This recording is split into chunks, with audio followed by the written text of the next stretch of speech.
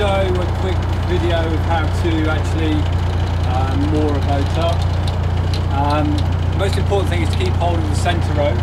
This is a good example because that boat has actually slipped back into gear.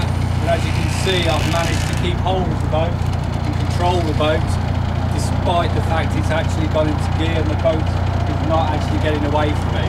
So what it can actually mean is I can just secure the boat here, walk along and make sure she's out of gear without. If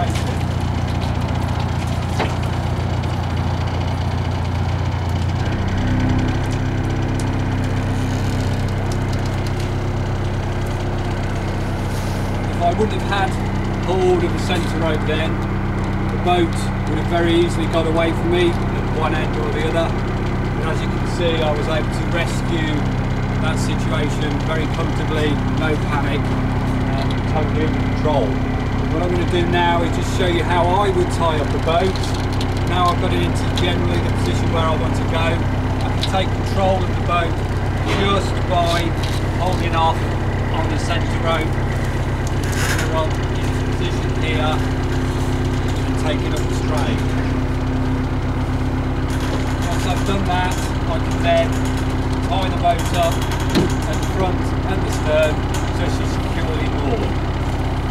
And all I'm going to do here is give myself a bit of time by just simply turning on the ropes, making sure they're not a trip hazard.